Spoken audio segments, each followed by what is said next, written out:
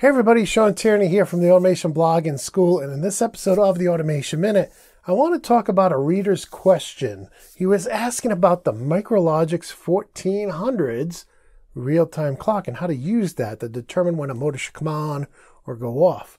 And so, you know, the Micrologix 1400, you can't use the GSV or the SSV like you can in the compact and ControlLogix.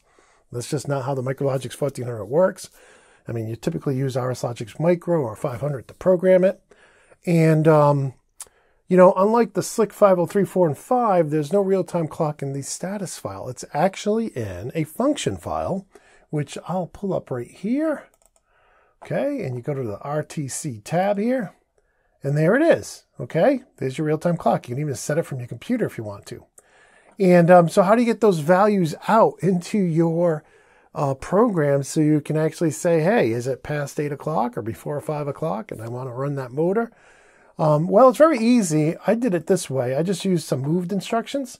So I move um, the hour into N70, the minute into N71, the second into N72. Easy peasy.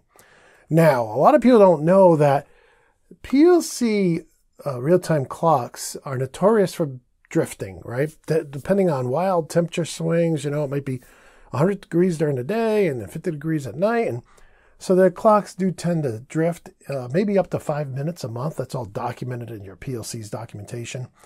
But um, uh, because of that, a lot of times people will create a, uh, a screen on their HMI so they can actually change the value of the clock. So if it's drifting, you know, five minutes a month, they can go in there and fix it. I know at the PanelView Plus, we use the global connections to um, to actually take the the, P, the PanelView Plus's clock and write it down to the PLC because the PanelView Plus's clock is more accurate. It's more PC based clock than a PLC based clock. So in any case, so you can do that. You could write them down to the PLC, but how do you get that value back into the real time clock in the PLC itself? And you think you can just do a move or a copy, but you actually can't. Trust me, I tried. It wouldn't let me. And uh, you actually have to use an instruction called the CPW. And this allows you to copy a word to another word that's a sub element of something else. Real interesting, right? If you want to know more about that, just click on the old CPW and press F1. But um, yeah, you can see here I got the uh, N73 going to the hour, N74 going to the minute, and N75 going to the second. Now, this next part you don't have to do if you don't want, but I would wouldn't wouldn't uh, go without it and that is to put limit tests in to make sure with the values you are writing to your clock are valid. Now, the clock should not take invalid numbers, right? That's just what the documentation says. But I always like to use limit tests in my code to make sure, just to make sure, you know, like valid values are coming from the HMI, okay? And so here you can see I'm making sure that the, uh, you know, the hour here is between 0 and 23, the minute here is between 0 and 59, and the second as well.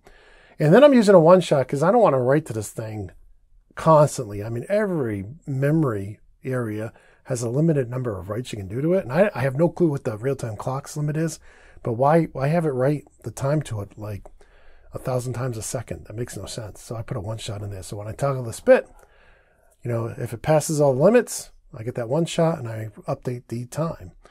And uh, so that's it. So that answers that uh, reader's question. I hope you found this informative or at least entertaining. If you do, please consider giving us a like and a sub. And with that, I want to wish you all a very happy, safe, and healthy week. And until next time, my friends, peace.